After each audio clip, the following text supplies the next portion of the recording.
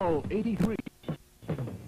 From the Cameron Indoor Stadium in Durham, it's the Yellow Jackets of Georgia Tech and the Blue Devils of Duke University.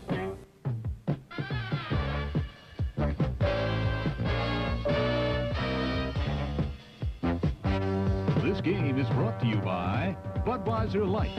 The best never comes easy. That's why there's nothing else like it.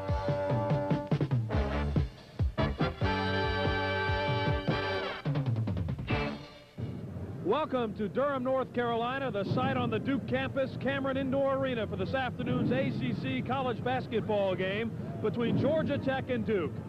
Good afternoon, everyone. I'm Kevin Slayton along with John Andariese. A lot of people might think this game isn't worth a whole lot between the sixth and seventh teams in the ACC, but John, that's not the case with the seedings coming up for the ACC postseason tournament. Well, no one wants to play North Carolina or, of course, Virginia with big Ralph Sampson, and that's what today's game really has a lot of meaning for. You don't want to finish in the bottom. The last two teams will be matched against the first and second team in the uh, ACC playoffs, and that's what these two teams want to avoid. They'd like to finish sixth at worst, and that's what they're each going to try and do. If there is one word that can describe this matchup this afternoon, it would be youth. Both teams will start four freshmen, including the two best freshman guard in the conference, if not the country, in Johnny Dawkins of Duke and Mark Price of Georgia Tech. Well, the visitors feature Mark Price as one of the best, as you say. He is a great outside shooter. He's only six feet tall, but he's very tough, very physical, and he's sensational from the three-point range. We're going to talk a lot about him a lot today, obviously. Johnny Dawkins, we saw him a lot this year. He also is one of the best. He was held to four the other night by North Carolina State. I look for him to break loose. He's loaded with talent. He's going to be guarding Price. What a matchup. And they may be, as you say, Kevin, the best two in the country. It should be a terrific matchup. All right, we're all set to see it from Cameron Indoor Arena in Durham, North Carolina. Georgia Tech against Duke.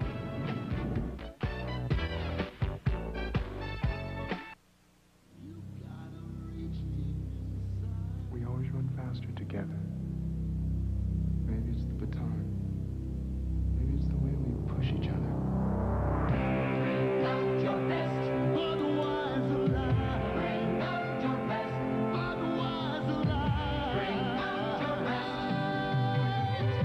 The best never comes easy. That's why there's nothing else like it. Hi, I'm Vic Braden, and I have a great bargain from Tennis, the world's foremost tennis magazine. It's the magazine that guides you, it keeps you up to date, it helps you enjoy and improve. And you'll find articles and answers to many questions about the game in Tennis Magazine. So take advantage of a better than half-price offer. Nine monthly issues of this great magazine for only $5. You won't find that at your newsstand. So call now, toll free, and when you call today, you'll also get free five constructive booklets that are sure to improve your game. Just look at what you get. Five booklets plus nine monthly issues of tennis for only $5. That's less than 56 cents a copy. Now compare that with the basic subscription price of a dollar and the regular newsstand price of $1.75, and you'll see what a great value you're getting. So don't miss out. Just call toll-free 1-800-453-9000. That's 1-800-453-9000. And if you read everything between these covers, you are going to be famous by Friday. For 1983, Plymouth is making Made in America mean something again. Quality, durability, and value. It means a complete American car with 13 more standard features than last year, but comparably equipped at $626 less. It means high mileage and quality. It means Plymouth backs Horizon with five years or 50,000 miles protection. Hard proof. Plymouth is the American way to get your money's worth. Plymouth offers 11.9% financing on all new 82 and 83 models. Welcome back to the Cameron Indoor Stadium on the campus of Duke University. We are going to take a look at the starting lineups for today's matchup. The Yellow Jackets from Atlanta and Georgia Tech. John Salley, number 22, will open up. He will play at one of the forward spots. Danny Pearson, number 33, will play alongside him at 6'7 and 210. In the pivot, it'll be Big Tim Harvey, number 44, a 6'10", 240-pounder. George Thomas, number 15, will be in one of the guard spots, the 6'3", 180-pounder. And the man that everybody has to watch today, the leading scorer in the ACC, freshman Mark Price out of Oklahoma. For the Blue Devils of Duke, their starting five will also include four freshmen. David Henderson is one of them. Henderson, the 6'5", 195-pound forward. He'll be joined at the forward spot by Jay Bilas, a 6'8", 215-pounder, also a freshman, wearing number 21. A freshman in the pivot, Mark Alarie, 6'8", 195-pounder. Johnny Dawkins, the freshman guard. Watch for the battle between he and Price this afternoon. And Chip Engelland, the lone non-freshman in the Duke starting lineup, will play at the other guard, and he's really been hot lately, averaging better than 17 points over his last seven or eight games. So Georgia Tech battling Duke. Earlier today, we were able to creep into the Georgia Tech locker room and listen to head coach Bobby Cremins give his team some pregame motivation. One, this is a tough place to play and the fans are tough here. I want everybody behaving themselves, have class. That's the most important thing. If they get on you, all you will concentrate on is the game. And uh, they'll be sitting right behind our bench. Concentrate on the game. That's the important thing. Personnel-wise, now look, you know Engelland's a great shooter. He can really shoot the ball. Also Emma, who comes off the bench. Either one of them come in there. Whatever defense we're in, whether we're in man or in the zone, I want you to key on him. Now Dawkins is a great penetrator. He loves to penetrate, but he can also shoot the jumper. Now, I think he got a good, uh, good taste of him in the Coliseum, and hopefully that taste will do you good. Now, George, you'll do the job. He did a super job on Branch. I think uh, Branch missed some shots, but you contained him. You took away his penetration, and that's the key to this young man here. You have to take away his penetration. If you go for the basketball, he will go by it. Use your head, stop his penetration, and once he shoots the basketball, then you go contest the shot. That takes a lot of heart to do that, and a lot of brains, but that's what you have to do to win the basketball game. Okay. All right, I hope you enjoyed that little visit with Bobby Cremins in the Georgia Tech locker room. Here's a look at the referees today. Joe Forte will be the referee. Dave Paparo and Bob Taylor will join him as the other two officials for this afternoon's matchup. Kevin Slayton and John Andariese, hope you enjoy the basketball game. Duke in white and Georgia Tech in the black uniforms, and the freshman Price, John, is able to control the first tip. Georgia Tech has uh, one main thing to overcome in this game today, Kevin. They have not won a game yet on the road this year, as unbelievable as that sounds. They are 0-11, and they get the first bucket of the game. Danny Pearson driving the lane, and it's 2-0 Georgia Tech in front. They won the previous meeting between the two teams this year in Atlanta, 67 to 66. That was a good ball game. This is Dawkins, the freshman we were talking about. That's Engelland, the senior. The lob inside to Bilas, and it's blocked, knocked away. And Bilas fights for it, still has it, goes up, can't score, but a whistle. And it looks like it may go against Duke. And it's against Bilas for blocking out. Well, you got to credit that Yellow Jacket defense for getting in there and working real hard. Big guys all converged on Bilas and made it impossible, and he got very frustrated. Harvey was the player that blocked the first attempt by Bilas. And Bilas able to come up with a loose ball, but not able to convert. Georgia Tech now on the attack. They lead it 2-0, just underway here in Durham. Inside they go to Harvey. He walked with it. A big monster inside, 6'10", 240-pound freshman. The only non-freshman in the Georgia Tech starting lineup is the guard, George Thomas. We told you about that last meeting earlier this season, a one-point victory. In that game, John Dawkins had a shot at winning it. He had the last shot from about 12 to 15 feet, couldn't convert it. See Duke going inside to their big guys right away. Bilas in command, but he decides to pass it up. This is Dawkins, his first shot of the game and it goes out of bounds, belongs to Duke. I think Thomas got a hand on it. George Thomas did a good job. The uh, reference before by Coach Bobby Cremins to the job he did against Maryland's Adrian Branch last uh, earlier this week. Four points he held Branch to. George Thomas at 6'3 uh, can really play defense. Well, the, the officials changed their decision and give the ball to Georgia Tech. So Thomas out on the point now, tries to get it inside. Does so nicely to Salley. His jumper won't go, and Henderson clears it away for Duke. The Blue Devils come out running. They still trail 2 nothing, and Dawkins trying to tie it up. England inside with a nice rebound, and he can't hit it. And the rebound to Alarie, and he gets the basket. Big Mark Alarie at 6'8", going over 6'10" inch Tim Harvey from behind and getting that rebound and converting. Alarie, uh, Alarie had a good game against Tech the last time they played. 19 points, 13 rebounds. He is the inside force for Duke. And the whistle inside goes against Harvey of Georgia Tech.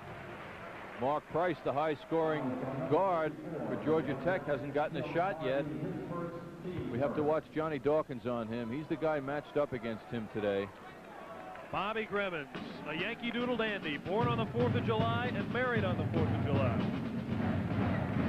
They don't play basketball in summer, though, not in July, so he, he's not going to have any memorable victories on the 4th of July. I got to tell you, though, Kevin, he, play, he played a lot of basketball himself in New York on the 4th of July, I bet. That's where he's from. Engelland inside to Alarie with the left hand. That won't go. Dawkins with a nice rebound, and Thomas got him from behind. Dawkins can get inside and rebound. So can Price, both very good rebounding guards, but George Thomas is the number one guard in the ACC, John, as a rebounder. So we've got some leaping guards out there this afternoon. Engelland lobs it out to Dawkins. Of course, the 30-second rule and the three-point rule in effect in ACC competition. Zone defense on the inbounds play. Prior to that, it's been man-to-man. -man. Alarie gets his second basket of the game, and he has four points. Four to two, Duke leads it. Three minutes into the battle, and this is Price now, and that's the first or second time he's even handled the ball, much less taken oh, a shot. what a pass. Harvey jams it home, but gives Salley the credit for the pass. But what a fine lead pass also by Price. Just perfect into uh, Salley. Henderson now passes up the shot. There's Dawkins. You heard Bobby Cremins talk about how he can penetrate. He came bursting down the lane. Duke by two, and still Price has not taken a shot. You know, he was the leading player, now a three-point effort, and Woo! bingo! Can he shoot the basketball? You know, he hardly looked at that rim, Kevin. He just went right up as if he knew exactly where he was without looking at the basket. Well, uh, the point I was going to make, he was the leading player, the MVP in the state of Oklahoma last year. That means he went over a guy named Tisdale. Look at Dawkins get up high. They say he's 6'2", but when you stand next to him, he appears shorter. But he became 6'10 on that play. Boy, did that light up the place, huh? Well, here is Salley at the other end trying to pass it inside, but the turnover taken away by Henderson, and here comes Dawkins. Mike Krzyzewski, the Duke coach, was talking about his jumping ability, said he could get his elbows above the rim, John. I couldn't believe that when I asked Mike before. He said how high he could jump. He said elbows. That's high. That's the stratosphere. The whistle goes against Georgia Tech, and I believe it's going to go against Danny Pearson, who gives the official a little pat on the backside. Pearson draws the foul, his first. Well, they haven't calmed down here in Durham yet since that jam by Dawkins a moment ago. Is pretty much a sure thing from the free throw line, an 82% shooter from the charity stripe over the course of the season. Just a freshman. Does everything well. Fundamentally sound player. Maurice Bradford checks into the game for Georgia Tech. He'll wear number 35. And Alarie converts both free throws. So Alarie now has six points in the game. Duke has a 10 to 7 lead, and we've got a timeout in Durham, North Carolina, here at Cameron Indoor Stadium. And we'll come back for more ACC action in a moment.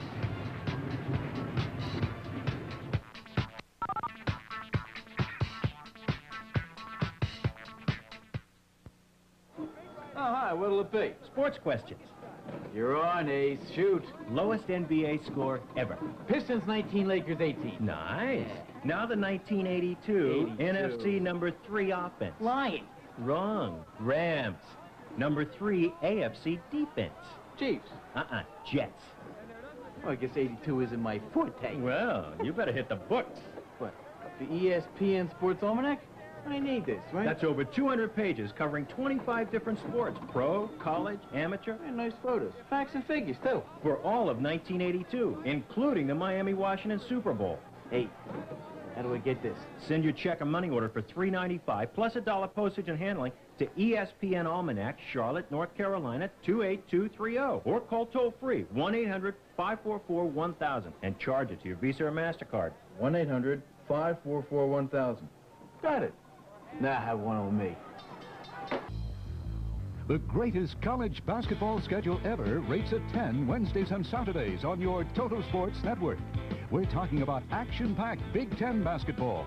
And it comes your way twice a week with a hard-nosed style of play made famous by the likes of Bobby Knight and his high-flying Indiana Hoosiers.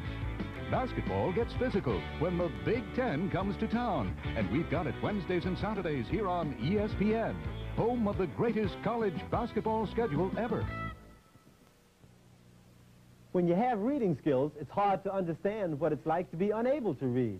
This is what a stop sign looks like to one in five adults who cannot read. Literacy Volunteers of America has a one-on-one -on -one tutoring program to help teach reading. Become a volunteer. You discover that you get more than you give when you teach another to read. I'm Wally Amos asking you to help stop illiteracy. Please write Literacy Volunteers of America. We are back live at Cameron Indoor Stadium in Durham, North Carolina on the campus of Duke University. Kevin Slayton along with John Andrews. Glad you're with us. Right now, Duke leads Georgia Tech 10-7. And watch Johnny Dawkins. Well, Johnny Dawkins got in front of uh, Thomas, and you can see how high he gets off the ground. What a perfect pass, right on the money.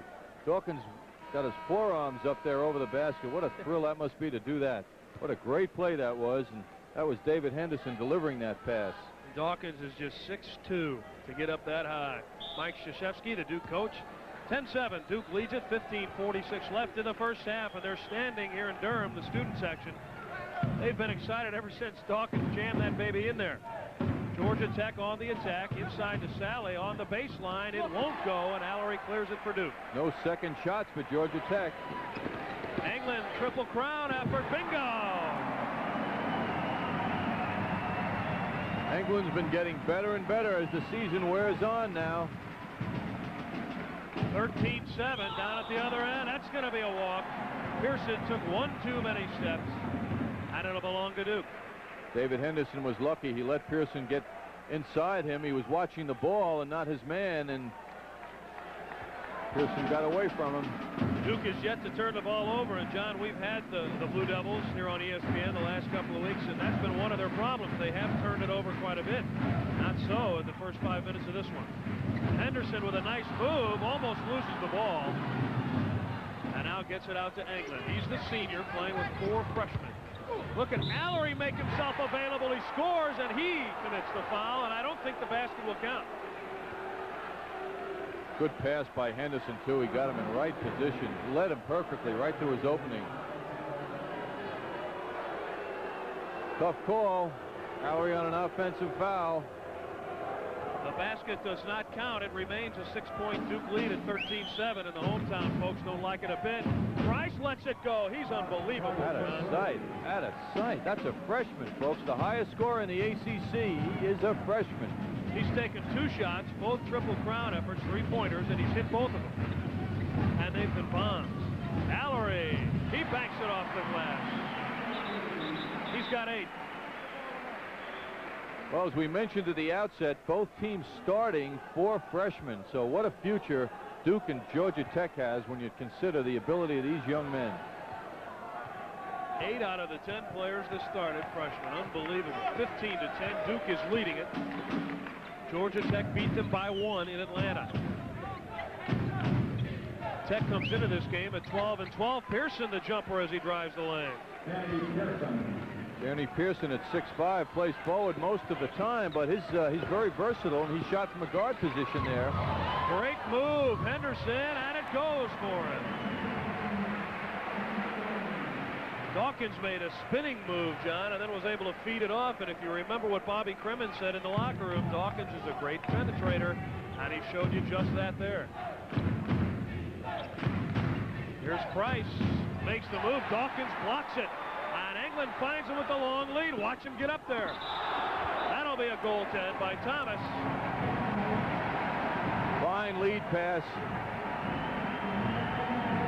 Nice little head fake, too. Price showed some variety on that play. Engelland just threw the ball to the position, and he, he knows the speed that Dawkins has. It was really a great pass. A seven-point, 19 to 12 Duke lead with 13 and a half minutes left in the first half. Dawkins doesn't want Price to beat him on the drive. He's down real low guarding him. Price had 13 against Duke the first time they met. Here's Thomas, and he bangs it in.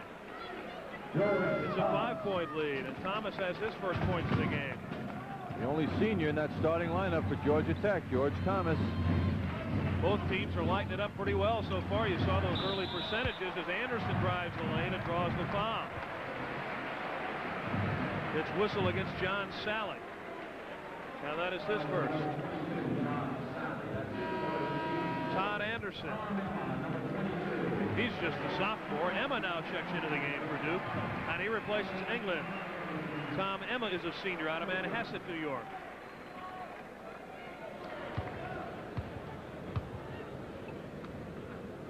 Duke, a very excellent free throw shooting team, John, on the season. They hit better than 70%, 74% of their free throws. That's excellent shooting. A lot of professional teams do not shoot 75%. And most of the players, as we've mentioned, are underclassmen, freshmen, sophomores. Very cool in the line. Seven-point lead for Duke now, 21-14. Georgia Tech in command.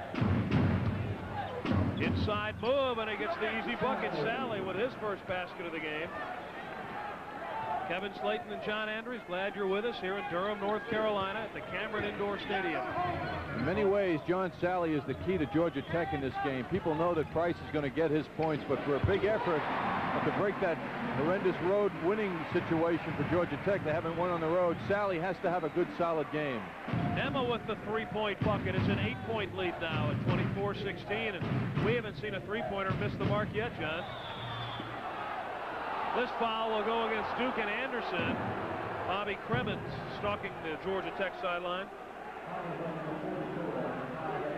Duke defense is continuing to overplay inside. In other words, the defensive men underneath the basket are stepping in front of the Georgia Tech offensive players, which means that the weak side forward, the side away from the ball, defense-wise, has to come over and help on those lead passes, and Duke has been doing a good job at that.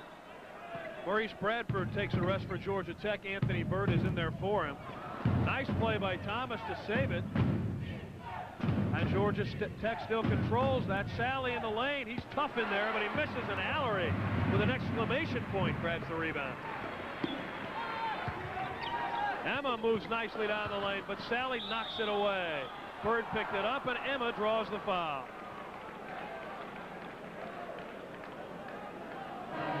So Duke with an eight-point lead.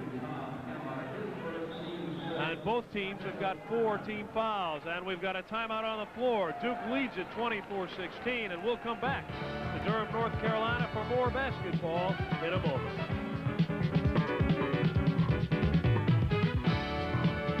Look, if you rip this expensive car seat, you'd have to mend it with tape. But when new car manufacturers mend rips on the assembly line, they look like this, good as new. Now, you can use the same fabulous process at home. New Minute Mender makes almost invisible repairs quickly, easily on vinyl and leather and fabric. Repairs furniture, handbags, luggage, coats, and much more. Just match, patch, and blend. Mend rips, holes, cigarette burns in any color vinyl or leather as easily as waving a wand. Just match, patch, and blend. Watch this actual demonstration. The rip in this expensive luggage looks hopeless, but wait. Just match the color, Patch with amazing Minute Mender. Then blend in the grain and look. A perfect repair. Imagine. From this to this in minutes. Watch again. Here's an ugly cigarette burn. On the left is old-fashioned vinyl repair tape. On the right, Minute Mender. Let's go. Minutes later, both holes are fixed, but the tape patch looks terrible. With Minute Mender, you can't find the repair, just like new and look. It's strong as ever. Use Minute Mender on car seats, vinyl tops, furniture, luggage, boots, jackets, toys, rafts, briefcases, glass cases, and dozens of other things. It even repairs the most expensive naugahyde and leather. The Minute Mender kit contains everything you need to make hundreds of dollars worth of instant at-home repairs. Minute Mender, just $12.95 with an absolute money-back guarantee. Act now, and we'll include free this valuable fabric repair kit. Makes almost invisible repairs on jackets, curtains, clothing of all kinds, and you never thread a needle. The fabric repair kit, yours free with amazing Minute Mender. Don't wait. Call now for rush delivery. Here's how to order. Call toll free 1 800 554 9000. That's 1 800 554 9000. Or send $12.95 plus $3 shipping and handling to Minute Mender, Box 213, Plainville, Connecticut 06062. Or call toll free 1 800 554 9000. That's 1 800 554 9000. Welcome back to Durham, North Carolina. We've got an ACC basketball doubleheader for you tomorrow afternoon. North Carolina State is at Virginia. 2 Eastern, 11 a.m. Pacific time live. Then Clemson and North Carolina. I'll be there for that one. 4 Eastern time, 1 Pacific time, also live here on ESPN. You know, John, a very interesting statistic. The first uh, three years in the ACC, Georgia Tech was 4 and 38 in conference games, and this year alone, Bobby Cremins has been able to win four. He's 4 and 8 this year. So Bobby Cremins has had a definite positive effect on the school. Six points apiece for Dawkins and Price uh, in the early going. Price, of course, knocking home those two long-range bombs, both three-pointers. Cremins in only his second year, Kevin, uh, is a good salesman also for Georgia Tech. He's going to bring in some fine players in the next couple of years. 24-16, Duke leads it. They've got the ball, 11 and a half minutes left first half. There's Dawkins coming from behind again. He couldn't jam that one time, but he got it nonetheless. He got behind Mark Price. Duke is not afraid to throw cross-court passes, and Georgia Tech better realize that. Usually you don't do that. And if the defense anticipates what the offense is going to think, what, what they think they should do, they're, they're going to get in trouble. Price has been pretty quiet as you see the big move and an offensive foul called against Pearson. He made a nice move and threw his weight around in there, but unfortunately for him, he threw an offensive foul. Danny Pearson at 6'5", just forced that move a little too much. Tom Emma anticipated it perfectly. And Pearson is going to get a rest and into the game for Georgia Tech. It's Tim Harvey, big number 44. I tell you, when he patrols the pivot, you can hear him. You know he's there. 6'10", 240. They don't come much bigger than that. And he and Alarie are really having a physical tussle inside right now. Anderson along the baseline. Nice move. Drives all the way to the bucket. It won't go. Alarie had it. He lost it, and it was touched last by Harvey, so Duke retains possession. Alarie kept working for position, and he, the ball came right into his hands and was slapped away, but he keeps going to those boards well. A 10-point Duke lead. That's their largest of the game so far, 26-16. Looking at a zone defense now by Tech on that inbounds play. Alarie had a thought to go for the shot, but he passed it up. Nice move by Dawkins. Gets way out there and hits the 15-footer. You notice how the great offensive players always seem to be free when they take their shot, and that's because of what they do immediately preceding it. Dawkins is so quick, and he faked his way to that fine position. Dawkins with 10 points leads the way now for Duke as Georgia Tech needs a timeout. Duke holds a 12-point lead, and when we return to Durham, North Carolina, we'll pick it up there. Duke leads it 28 to 16.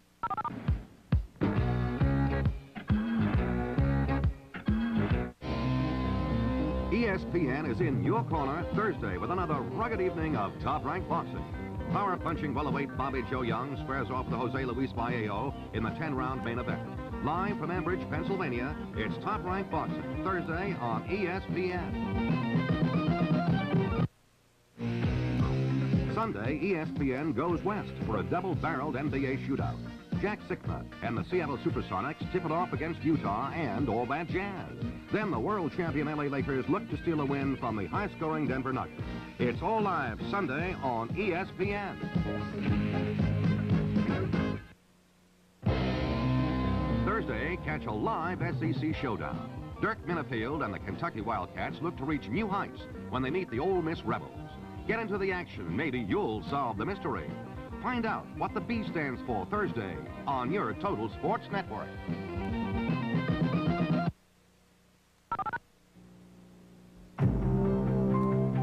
Born of tradition, nurtured by pride.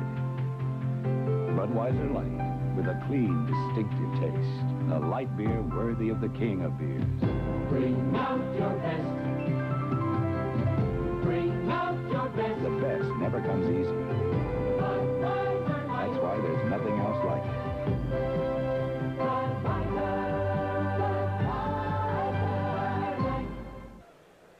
Welcome back to Cameron Indoor Stadium on the campus of Duke University. And we've got the NBA for you tomorrow, doubleheader action.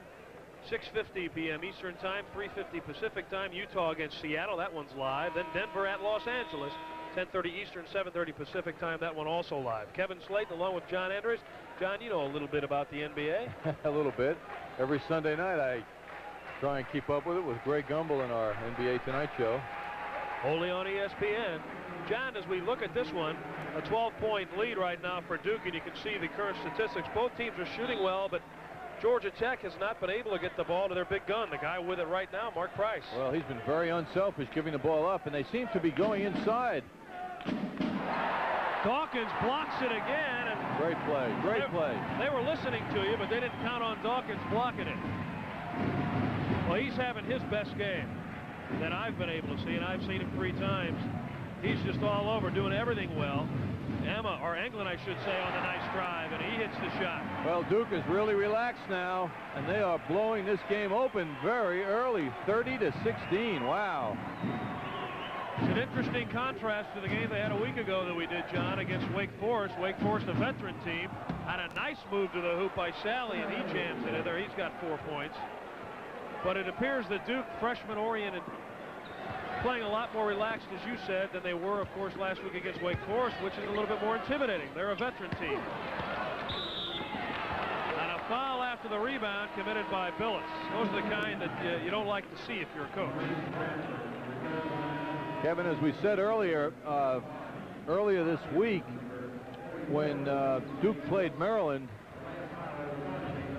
take a look at John Salley now getting that position for a moment, working well inside, little head fake, nice move there.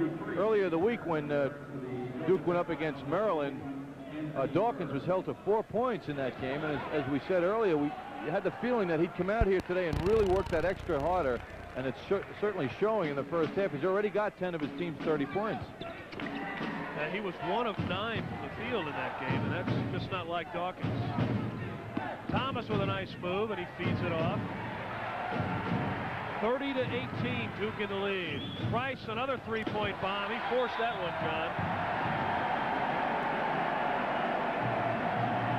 I just referred to a game against Maryland. That was Carolina State that did the good job on Dawkins. Uh, they really worked hard on him.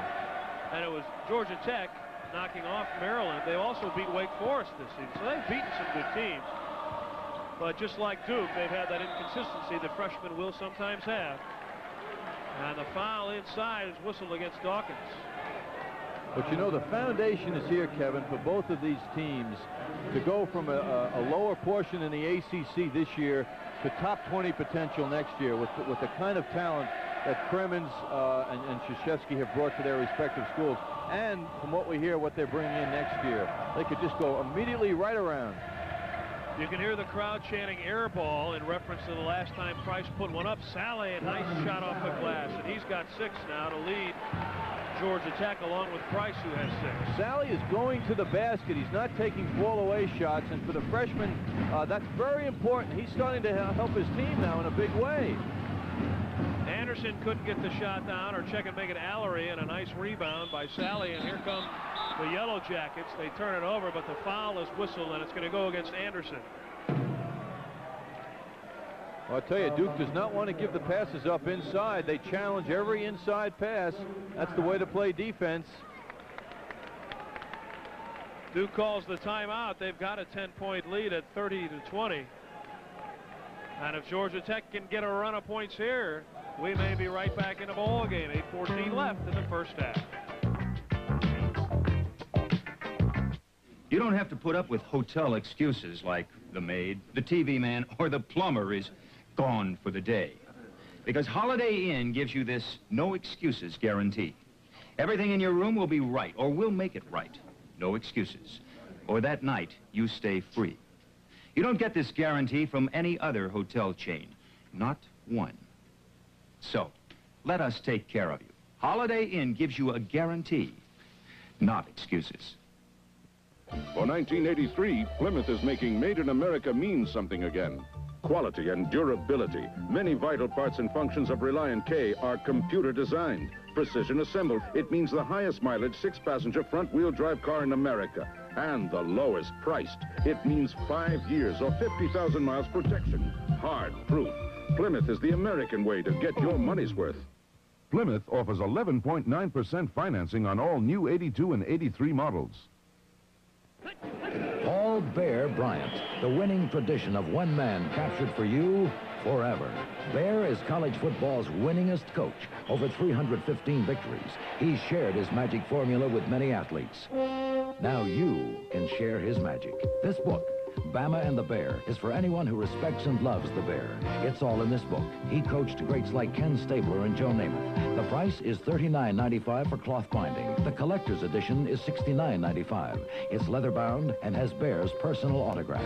Call now and order. 800-544-2000. This is the pre-publication price and includes play-by-play recaps of the thrilling 81 season and the exciting 82 season. You'll also get this recording, The Bear Remembers. Your book will be shipped in February after the end of the season. Hurry, it's a limited edition. These editions will never be sold in bookstores. Act now. The Bear would want it that way.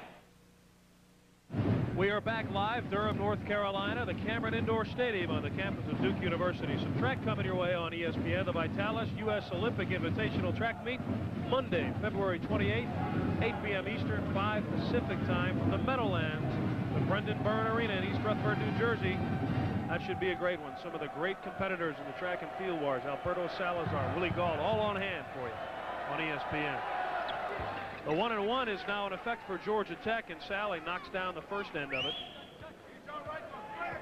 Remember, Wake Forest and Maryland, another ACC battle, will come your way on ESPN later today following this game.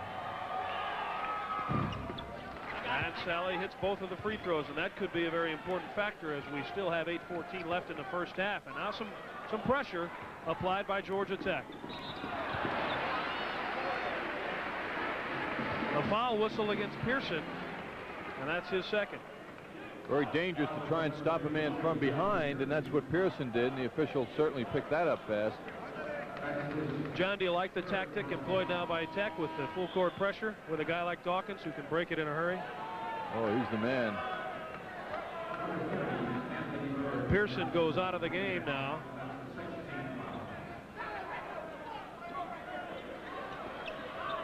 And they're able to get it in. Anderson nearly walked with it after he took the inbounds pass. An eight-point Duke lead. Engelland working on Price in a man-to-man situation. And we've got some real physical contact underneath, and the whistle's going to go against Todd Anderson, and that's his third foul for the big Duke forward. Well, like John Salley, the man you're looking at, fighting over that pick. And the pick was a moving pick, and Salley hit the dirt real fast, hit the ground, and uh, he knew he was going to get clobbered, but he, uh, he he was devoted to defense on that play. A terrific, fine play by Salley, who's now going to get a chance to earn some points at the line. He just made his last two. He has not shot fouls well this year, a little under 60 percent. Meagher comes into the game for Duke, number 45. He replaces Anderson, who committed that foul. Well, let's see if Salley can knock two more down. That was a brick. And they get a break because the rebound is pulled down nicely by Byrd. An eight-point lead, and Georgia Tech could cut into that. The pass inside, but a fine defensive play by Meagher. He went to the court to knock that one away. Henderson along the baseline passes up the shot. Looking for that cross-court pass again, John. It wasn't there that time. Bradford at 6'4 is guarding the 6'8 inch Alarie underneath, so Duke is trying to get it into him. Meagher from in close couldn't hit it, but look at Henderson get up, get the rebound, and he scores. David Henderson playing bigger than 6'5. A 10-point Duke lead at 32-22 with seven minutes left in the first half. They've got to get Price shooting the ball. They're setting up a double pick down low now, John, in order to free him. He was free that time, but Thomas put it down low to Salley on the other side of the lane.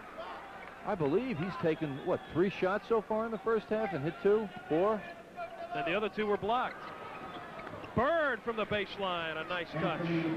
That's his first basket of the game. He's now got two points, and it's an eight-point Duke lead. Well, Byrd is maybe the best shooter on this team from all reports, so let's see if he can continue. Salley knocking it out of bounds, and it belongs to the Blue Devils.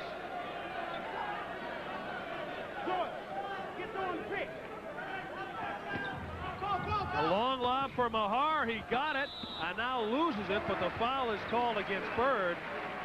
Well, how in the world do you get a long pass cross court off an inbounds play like that? Boy, Duke has been throwing those cross-court passes continually in the first half. Danny Meagher going to get this pass from Engelland now. Meagher at 6'7", the big sophomore, got the ball, and that head fake helped him get some contact. They just look like they're sleeping. It looked like really the foul was committed by George Thomas, but it was whistled against Byrd. And Well, Meagher misses. Georgia Tech cannot slough off now and help on defense as much as they have been because the players that are sloughing on defense have been victims. The cross-court passes have been finding their way to the open men. Meagher hits the second one. That's his first point of the game, and it's a nine-point Duke lead with 6.44 left in the first half. Price has been bringing the ball down, John, but he's giving it up in a hurry. Inside to Salley, he's got two men immediately on him. An ill-advised pass, and Alarie is there to pick it off. But you don't get fancy when you're down nine. Engelland, a triple crown effort won't go. Tipped away, and here they come. Bradford running with Price.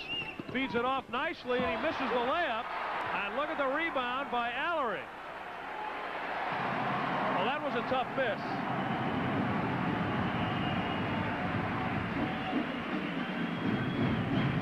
Duke with a nine-point lead in the basketball. Six minutes left now in the first half. Engelland, when he gets open, he's ready to shoot it. Nice job by Alarie of getting position, and then he drew the foul on Salley. And now Duke will get into the bonus situation as well from the free throw line. Here's another look, John. Bradford 35 trying to get in front of Alarie, but hey, he's four inches bigger, and Alarie's got great position under the basket. And of course, he was met by the by the helping defense there. Tom, uh, who was that came across? 22 that was. That was the Salley that came across, but he got there a little too late. But that's a tough matchup inside. Alarie at 6'8", and he's pretty wide, too. Harvey is back into the game now for Georgia Tech. Alarie at the line. He'll kill you from the line. He's not the guy to foul. Three for three today from the line, and 82% are on the season. He's got nine points now. Big game the other night against Carolina State. 20 points for Alarie. He's got 10. So does Dawkins. They lead Duke, and Duke leads Georgia Tech by 11. Man-to-man defense all the way for Duke first half. Nice move along the baseline by Thomas, but his pass goes off the hand of Bradford. Dawkins trying to do it all alone, and he does it, and he draws a foul. Or did he commit the foul? Might be a little of both there. Might have, field goal might have counted. And he committed the foul. Tough defense causing another turnover for Duke. See Johnny Dawkins. Price almost got it away from him, but Dawkins with those great hands got it in off the backboard and then committed the uh, charging foul. And Byrd will go to the line for Georgia Tech. 12 for Dawkins, and he at those leads Duke now. He's got some on. There's Krzyzewski, the Duke coach, in his third year at the helm here in Durham. Byrd with the one and one, and he rolls it in. Byrd has three points. He's an 80% free throw shooter, so Second high score on the Georgia Tech team last year behind Brooks Steppe, who's now in the NBA with Kansas City. Byrd cuts it to 11, the lead for Duke. 5.33 left in the first half.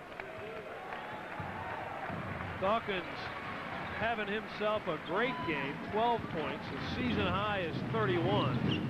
Engelland thought about it, then made the move. Henderson open along the baseline. It won't go, and Thomas with a great rebound, but he's going to be called for a foul. Boy, can he get off the ground. George Thomas, great leaping ability, going to come in now and rebound this uh, shot attempt by Henderson. Leading rebounder in the ACC for guards, George Thomas. He must have been pushing before the rebound because it certainly didn't appear that he fouled anybody. Meagher misses the first end of the one and one at Byrd with a nice rebound. An 11-point Duke lead, but Georgia Tech could cut it to nine.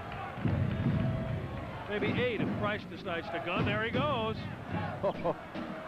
A little bit short. Harvey comes away with a rebound, and he walked. And that's the third time Georgia Tech has turned the ball over when one of their players has walked in open territory. Not even any pressure, really. I would think that uh, Mike Krzyzewski has to be very happy with the job that Johnny Dawkins is doing on, on Price. Price showing his frustration by taking a shot, I thought last time, just a little bit out of his range. And uh, it's going to be very hard for Dawkins to, uh, uh, for Price rather, to get going here. Williams, who just got in the game, he's one of the crowd favorites, and he knocks down the bucket. Weldon Williams makes it a 13.2 lead. The last time these two teams met, Price was held to 13. I say held because his average is 19, and now Henderson takes it away. Georgia Tech loses it out of bounds, and they're doing a job on Price. Well, they're sure keying on him. Anytime Price has the ball, Dawkins is going to have help, and it's just working perfectly for them in the first half. And he's going to get himself the rest. Price comes out of the ball game, and in there, uh, they'll have someone else come into the game.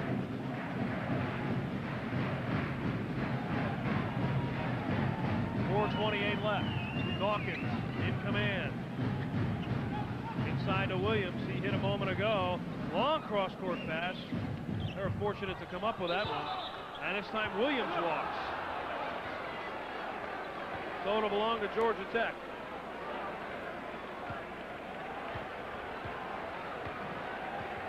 Four thirteen left, first half.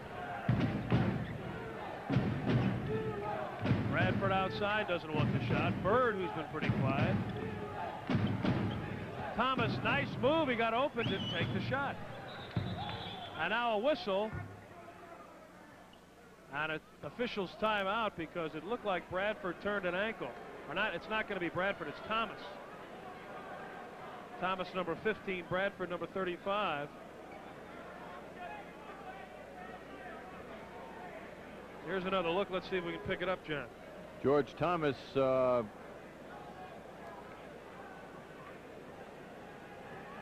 There he is. That's an odd one, isn't it? He was all by himself. He might have extended uh, uh, a hamstring, perhaps. I don't know if it was an ankle. It didn't appear that he twisted his ankle.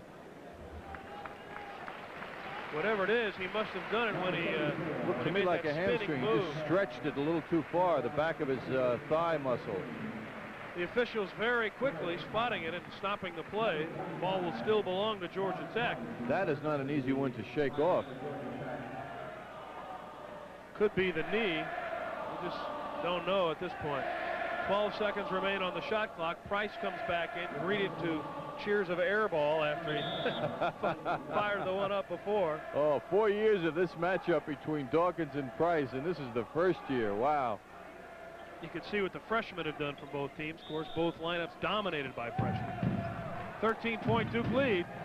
I like that little rest Cremins gave him, too. He didn't leave him for the rest of the half to uh, get too cold. He just gave him a minute blow and let him get his act together. Well, Georgia Tech came out hot, but they have not continued the pace. Bradford whistled for the foul. Georgia Tech's shooting has gone awry. It seems every time Duke comes down court, Kevin, they get something. You know, it doesn't appear that they're in that frustrating situation where they keep coming. Here you can see Dawkins getting rid of the ball, moving it up, always getting, pushing the ball forward. That's why Dawkins is so tough. No chance at an offensive foul on that play. Bradford tried to draw the offensive foul, but it didn't work. Henderson will go to the line, a 67% free throw shooter on the season. Got four points today, one and one. An interesting statistic here for the first half. Duke's freshmen are leading Georgia Tech's freshmen by the score of 28 to 22. Not often you can say that freshmen have played that major of a role in a game. Henderson hits both ends of the one and one, and he has six. Duke has their largest lead, 15 points, 41 to 26. This is the man that has to be shooting more. Mark Price, leading scorer in the ACC. Three and a half minutes left in the first half now. And they give it away again. This time they stole it from Mansell. Henderson thought Engelland was with him. And they call a foul against Henderson, an offensive foul. That is his first foul. So Georgia Tech will have the ball, and John, we keep alluding to it, and Price just hasn't been able to get the shots. Well, it'll be interesting to see what Bobby Cremins comes up with in the second half. Maybe Price has to get some picks. It doesn't appear that anyone is really helping him get free. It's sort of doing it all by himself. Well, the one time they came down the floor, they set up the double pick down on, down low, but they threw the ball to the other side. So Price broke free on that particular time down the floor, but they didn't get him the ball. He's also going into that low pivot position. I don't see that as a percentage situation. He's six feet tall. Dawkins is six two with long arms, and it's very hard for him to succeed with his back to the basket at six feet. Mansell, the trigger man, and Dawkins has just picked up his third foul. That could be important. Got 12 points. He's done a great defensive job, but he's now got three fouls, and you're going to see him come out of the ball game. Emma's going to come in with three minutes left in the half. You don't want to take a risk. No, that's very key. Huh? That's very key. You don't want him with three in the first half at all because once you get four, for many players, they tune out of the game then and they get so cautious. And a freewheeling, free spirit like Dawkins uh, can be greatly inhibited with four fouls, and he's got three now, so that's the end of him for the first half. And Bradford's able to knock down the front end of the one and one. It's going to be interesting to see how Emma now does guarding Price. Although the last time they played, when Price was held to 13 points, Dawkins and Emma shared the defensive duties. And Bradford hits both. He's just a 57% free throw shooter. Looked like a 90% of that time. Bradford has memories of shooting here, I'll tell you. We'll get into that a little bit later at the foul line. Emma had a notion, gets it into Alarie. Oh. That's an easy bucket. He can move his body so well inside. So simple. Nice quick pass and right up. No dribbling. 12 points for Alarie now. He and Dawkins leading all scores. 15-point lead again. Here is Price. And a foul goes against Emma. Looked like a good block, didn't it? And a technical gets called against Mike Krzyzewski on the Duke sideline. Oh, he must have said the magic word because there was no hesitation. Emma got the hand in on Price. Ball for the foul. Well, Price with six points. He ought to boost it up now. Guy leads the ACC in foul shooting. He drops that one easy enough. That's one of the quickest, tec quickest technicals I've ever seen called. Price now has eight points, and he'll get a shot to add two more. Two shots for the technical foul. It's two for the foul Isn't it now. something? He went from six points in the first half to nine, and now he's shooting for his 10th. Isn't that amazing? This a guy averages 20, leading scorer in the ACC, and you have the feeling that he's he's just been totally shut out in the first half, and he's right on target. He's got 10 points and a chance for more because Georgia Tech will have the basketball. That's how you get back in the game. And he's got no Johnny Dawkins bothering him either. They were 15 down. They're 11 down. They bump in a three-pointer. You're looking at an eight-point deficit in one possession, a seven-point swing. Mansell can't hit the shot, and it comes away to Williams. Well, that's not the guy you'd want to take your shot. Mansell doesn't even, even play that much. Alarie again makes himself available. He's so deadly with either hand, and he's got 14 points. Alarie's a murderer inside.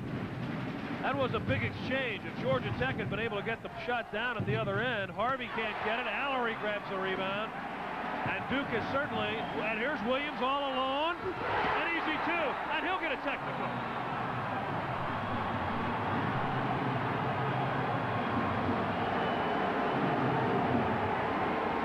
You can't grab the rim and hold on. Ah, one of the great feelings. Super stuff then hanging on the rim, no good, not allowed. Well, here goes Price back to the free throw line. He's got 11 now, John. He's going to be one of the leading scorers. He's got five free throws and two three-pointers. And they get the ball. Just a one-shot technical. And it's a 14-point lead. Price moving. Oh, he had Emma all over him. Mark Price, super move. He's got 13 points in the first half. Alarie, a nice block by Harvey, and he gets the ball. Well, they need to score. A minute 18 left in the half. Enid, Oklahoma is very proud of this young man. Moving again. Oh, How does he hit the shots? And they call it offensive foul. Well, that was a tough call. What a great shot. He's the smoothest shooter I've seen all year long. Oh, absolutely. Remember, he was uh, high school player of the year in Oklahoma. And as we said earlier, there was a guy named Wayman Tisdale that also played his high school ball there last year. Great spinning move by Emma. It won't go, but Williams fouled. Williams only been in there about four minutes. He's got six points. Weldon Williams, six foot six inch freshman. Go get him, Weldon. Price now with a long bomb. It won't go, and he hustles and gets Oh. the rebound. A nice give and go. And Price hits it. Oh, no. Offensive goaltending against Harvey. He just couldn't stop himself once he got up there. What a frustrating play. Mark Price on the move. The ball is not out of the cylinder area, and Harvey interfered with it. Excellent call. Harvey was just up there. It was so hard for him to resist. Well, Mark Price has certainly loosened up. Well, he was able to shake Dawkins. Greg Wilson in there now for Georgia Tech. 13 points for Price. He had six until Dawkins went out of the game. But of course, five of those points have been scored on free throws. A 14-point lead for Duke. 20 seconds left first half. They've been able to do just about anything they've wanted, really. And now Emma with a long bomb draws nothing but air. Georgia Tech has the ball. Price better hurry. Six seconds left and the clock's ticking away. Tries for the three-pointer. It won't go as the buzzer sounds and the first half comes to an end. Air ball. and the fans let him have it, don't they? Oh. A 14-point Duke lead, 49-35 at halftime. And we'll be back to Durham, North Carolina for more ACC basketball after this.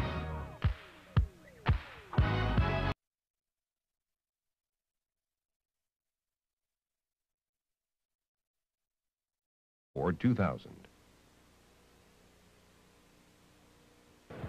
Welcome back to Durham, North Carolina, the Cameron Indoor Stadium. Kevin Slayton along with John Andariese. We are at halftime. Duke leading Georgia Tech 49-35. John, as we take a look at some of the halftime stats, anything that sticks out in your mind? Well, Duke uh, obviously shooting very well at 50, almost 58% from the field. They dominated on the boards, 17 to 9 rebounds for Georgia Tech. And the turnover situation also favored Duke. They only had seven, whereas Georgia Tech had 12. So Duke dominated the game in the first half, scoring and rebounding wise. And of course, they were led by Mark Alarie, 14 points and six rebounds. And at one point, uh, Duke had grabbed the first 10 rebounds of this game before Georgia Tech even grabbed a loose ball. United States Football League action, the Michigan Panthers, Birmingham Stallions, Monday, March 7th, 9 o'clock Eastern, 6 o'clock Pacific time, live. Jim Simpson and Paul McGuire on hand for the debut of the United States Football League here on ESPN. Mark Price, whom we said had been down in the first half with only six points most of the way, ended up that first half with 13 points, five of them coming from the free throw line. There's a good look at what's happened in the first half. 45, 46% from the field for Georgia Tech's not really all that bad, but uh, Duke has really lit it up, shooting almost 60%. Dawkins had a terrific first half with his shooting six for eight, and of course Alarie five of eight. So you're talking about 11 of 16 for those two guys, who got 26 of the uh, team's 49 points. Salley has eight points for Georgia Tech behind Price, but uh, Salley's been quiet for the last 10 minutes or so of the first half. Alarie and Dawkins leading the way for Duke. And then Henderson and Williams, who doesn't play much, when he gets in the game, the crowd loves it. On alternating possessions, Duke has it here to start the second half. Alarie and Dawkins playing a little 1-2. Dawkins is in there. Engelland now makes the move, puts it up and hits it. Tough shot. Engelland shot that off his ear more than out in front of him. Only outstanding shooters can vary their delivery, and uh, you can see where he's certainly an outstanding shooter. Be interesting to see if Georgia Tech goes right at Johnny Dawkins, who's playing with three fouls. Here's their chance to do it. They don't do it. Harvey, he didn't know he had that much room, and he hits the turnarounder. Harvey now with four points. And Thomas, who went into the game to start the second half, is going to have to come back out. He injured that left leg near the end of the first half, and Anthony Byrd goes in there to take his place. So it's Byrd and Price at the guards. In the pivot is Salley, and Harvey and Pearson are at the forwards for Georgia Tech. Engelland and Dawkins. Here's Engelland, a triple crown effort, and he bangs home the first five points of the second half for Duke. Well, Mark Price has got to stay up closer on Engelland. He's guarding him, and he just can't leave him at any point because Engelland can shoot from everywhere on the floor. Seeing two of the finest shooters of the ACC, if not the country, in Engelland and Price. Nice pass from Price to Byrd, but he has it taken away. Was out of bounds, belongs to Duke.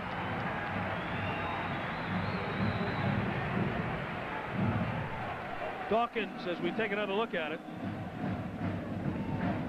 Georgia. Tech not able to convert inside, and that challenging defense of Duke turned the ball over. Dawkins down at the other end hits the jumper, and they've come out and hit three of their first uh, three shots, and they have not been from close range. All have been difficult shots. How about Dawkins with that three, still staying on the main man, Mark Price. Nice give and go to Salley, and he jams it through for emphasis. Nice pass by Tim Harvey. 17 points is the lead for Duke. Henderson and Bilas the forwards with Alarie in the pivot. Bilas on a nice feed from Alarie. Boy, what fine inside passing by both teams. Well, the pace has picked up here in the second half, John. Nobody's missed a shot, and Georgia Tech wants a timeout. Not much you can do when people are inhuman. They're not missing anything. 58-39 is the Duke lead, and we'll return to Durham, North Carolina for more ACC action in a moment.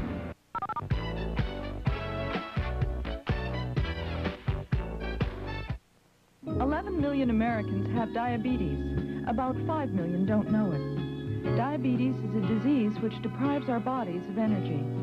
Symptoms include excessive thirst, urination, hunger, weight loss or drowsiness, or tingling numb sensations in the extremities. Diabetes damages nerves and blood vessels, causes heart and kidney failure, gangrene and stroke.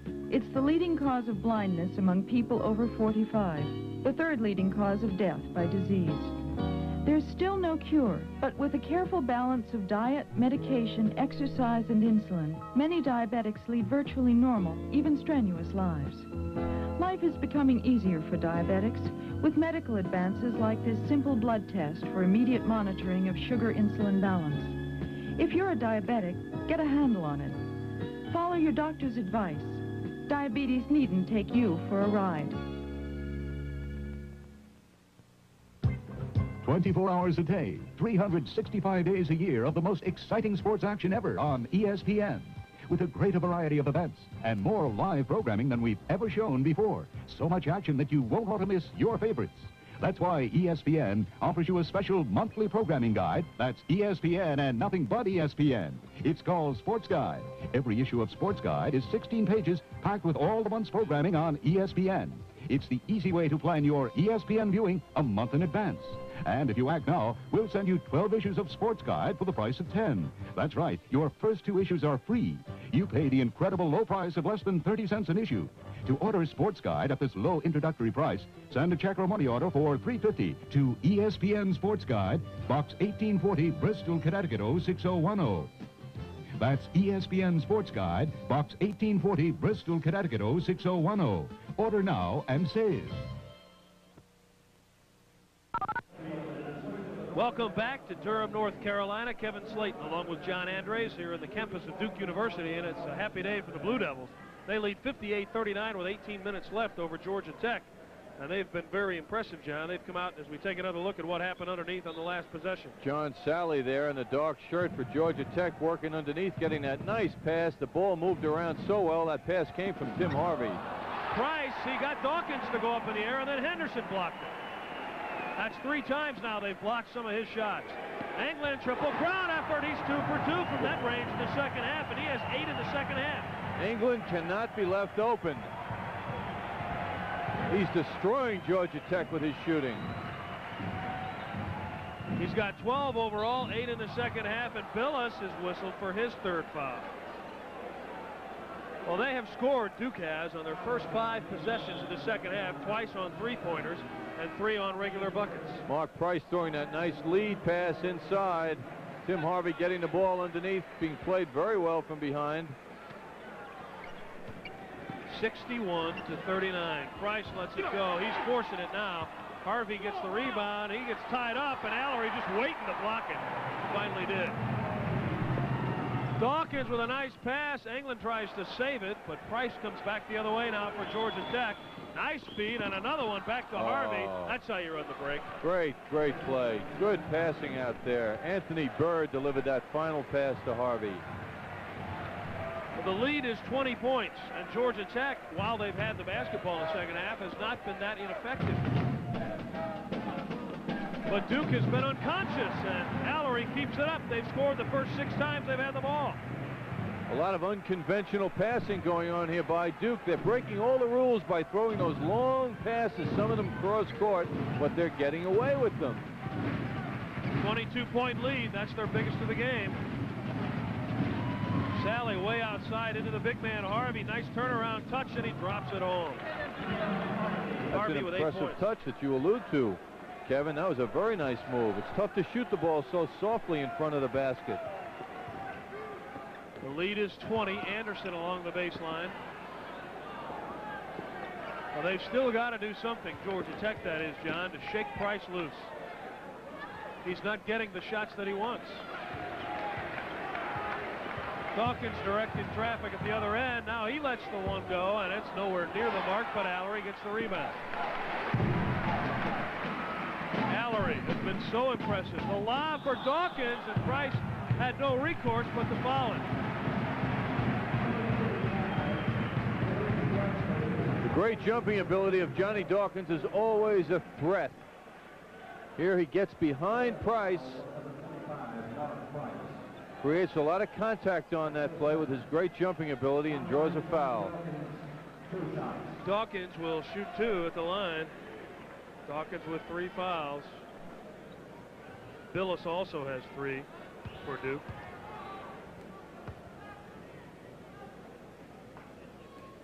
And Dawkins, who's just a 67% free throw shooter, hits his first free throw of the day. Johnny Dawkins, one of the most sought-after players last year at Mackin High School and Mac Mackin Catholic in Washington, D.C. 22-point Duke lead, and they've just done nothing wrong. They have scored on their first seven possessions of this second half. Sally along the baseline, it won't go. Alarie, who else there to grab the rebound? They lead by 22, and they could increase it. It's one of those days, John, where everything Duke does goes right, except that. Byrd with the steal, and even that went right. They didn't get the basket. Engelland has been whistled down for the foul.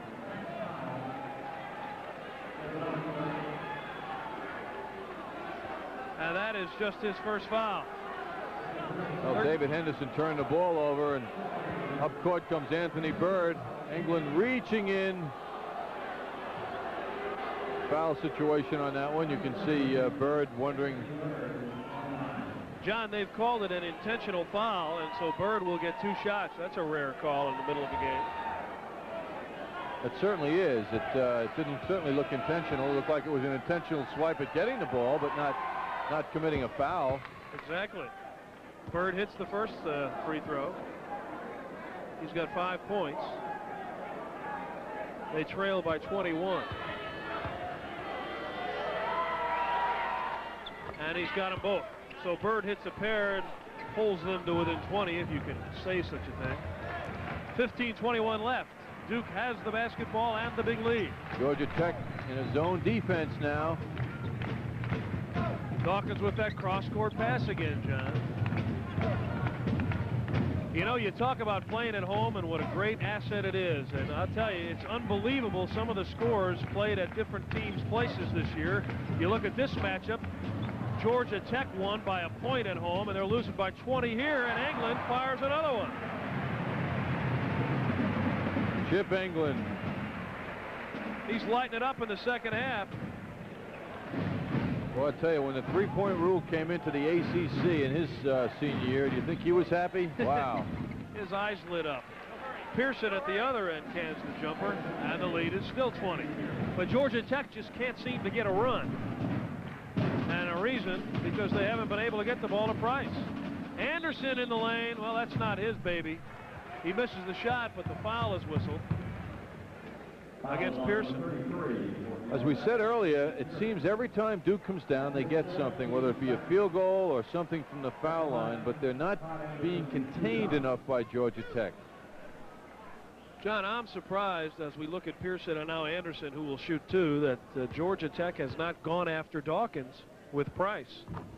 Here in the second half, he came into the half with three fouls. You got to get rid of him, or Price isn't going to do a thing. That's pretty obvious. And the minute he left the game before, Price really got rolling. Got a few hoops, got into the game more, was handling the ball better. Anderson hits both of the free throws, and the lead is 22 again. And here is that matchup. Price seems a little bit tentative. Don't want to do anything except let that jumper go. There he is free for a three-pointer. What a shooter. You can't let him open for a second. He's a pleasure to watch. Mark Price. He gets it off so quickly. A 19-point lead now for Duke. Oh, about 12 more of those, and uh, Tech will be back in it. Just 12. Engelland with a fine pass to Henderson. He drives the lane. The shot won't go, and a fine rebound by Salley. He got away with it that time. He took that bonus step. There are a lot of officials here in the audience at uh, Duke's home court also. They saw it, and even if it hadn't occurred, they would have seen it. There's Price from the baseline. He rushed that one a little bit. He did. He didn't have that ball in his hand very long. Salley commits his third foul on the rebound effort. 69 to 50, 13 and a half minutes left. And Anderson comes out of the game for Duke. Interesting thing about Mark Price, he tied his father's high school uh, tournament scoring record of 42 points. His father, Dennis Price, a former great player at Oklahoma and uh, an assistant coach in the NBA with Phoenix, and that's a, a real rare thing. His father was an All-American at Oklahoma. Interesting. Here's Alarie. He can't get it. He was intimidated by Salley. Bilas inside, lets it get up, but it won't go. And Salley, I believe, whistled for that foul. It's called against Salley. You know, when young players grow up and their fathers are athletes, a lot of times they play against each other. I wonder if uh, Mark is able to beat his father. It wouldn't surprise me if his father could still beat him. I tell you what, his father better guard him closely, or Price will shoot the lights out of the bucket. Uh, it's interesting to me why Price ended up at Georgia Tech instead of Oklahoma. His father probably beat him up, though. You know how guys get when they get older; they get more physical, and uh, that's why he's such a great outside shooter. and if the basket's in his father's backyard, his father's the unofficial referee, right? that's right. Bilas hits the first free throw. The lead is 20. And he misses the second one. Salley, with his fourth foul, had to leave the game. And Bradford came in to replace him. 20-point lead for Duke with 13 minutes. But don't go away, folks, because in this ACC, although they can't do that, Georgia Tech could get back in it with the three-point rule. Wake Forest and Maryland coming your way next here on ESPN. Another key ACC battle. Engelland's being picked up out so high. Georgia Tech has the message on him. Anthony Byrd playing him very respectful. Alarie, you can't leave him alone. Probably by nature, John, he is a forward. As you look at Salley resting with four fouls, and Duke hopes that they can recruit the big man. They say they've got a seven-foot-two guy coming in next year and move Alarie to forward. Duke, Duke is hitting a great percentage of their shots. Alarie says, you're messing with my turf, baby. Get out of here. He's having a great game. He sure is. Very efficient. Bradford, or Pearson, I should say, go in the lane, and the foul called against Duke, and probably Alarie. We'll wait and see. It is Alarie. Only a second foul, he has a tendency to get into foul trouble, but not so this afternoon. Pearson will go to the line to shoot a pair. Danny Pearson on the move. He averages nine points a game for this team, also five rebounds, a 6'5 inch freshman. And he drops the first free throw. Danny's from Eau Claire High School in Columbia, South Carolina. And he knocks home the second end of it. Eight points now for Pearson. Five block shots for the Blue Devils. Two of them have come from their guard, Dawkins. 20-point lead for Duke, and they've got the ball inside for Alarie. Harvey got called for the foul. He was trying to front Alarie, but it didn't work out.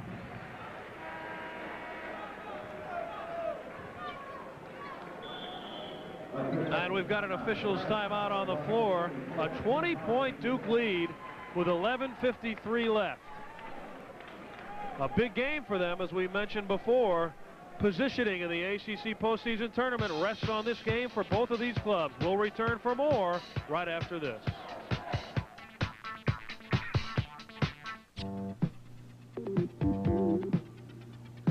Playboy.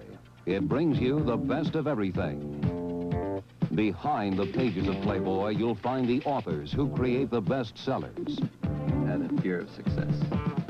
Yes, I have. Interviewers who reveal the I person behind the personality. Award-winning sports analysts and forecasters who give you an up-close look at the teams, the players, and all the action. Playboy's cartoonists point out the humor in today's world with a rare mix of art and wit. Then there's Playboy's photographers, masters at capturing the beauty of the world's most breathtaking women. Good. Playboy also tips you off to the latest styles, tunes you into the hottest sounds, and stirs your spirit of adventure with exciting new ideas. Informative, entertaining, and provocative. Playboy, the magazine that gives you a monthly ticket to the best of the good life. And right now, you can get 12 months of Playboy delivered right to you for only $18.50. That's half the newsstand price. So enjoy the very best, the wit, wisdom, and imagination of today's most creative people. Become a Playboy subscriber and step into the exciting world of Playboy. To order your subscription, phone toll-free 1-800-544-1000 and get 12 issues of Playboy for only $18.50. Save $18.50 off the newsstand price. Basic subscription rate, 12 issues, $22. And with your paid subscription, we'll send you this rich-looking rabbit head keychain as a free bonus gift. So phone toll-free 1-800-544-1000. Get a full year subscription to Playboy for only $18.50. You'll get the rabbit head keychain free with your paid subscription.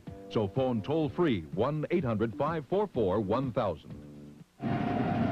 Welcome back, Durham, North Carolina. Kevin Slayton along with John Andariese for this ACC basketball. And we've got, of course, the NCAA Basketball Championship Tournament. It all begins March 15th on ESPN, 7 o'clock Eastern Time. And you'll see some action. I'll tell you, there's some great teams participating, will be participating in the tournament this year, John. It's almost impossible to pick a champion. So I'm going to put you on the limb and ask you to pick one. That's why it's so uh, so interesting. College basketball is really evened out now. No one's running away with it, as you say.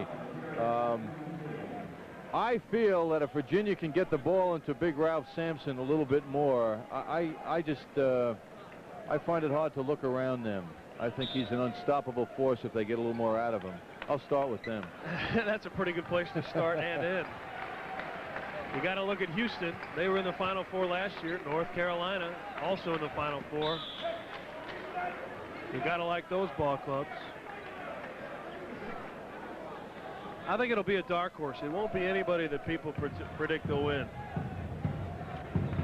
Can Indiana, over, right, as you were going to say, overcome their latest bad news with Ted Kitchell? Very difficult blow for them to lose him with a back injury. Before that had happened, I'd like to, to point at them and say they're going to be the team. Bobby Knight at the helm. He's a tough man down coach.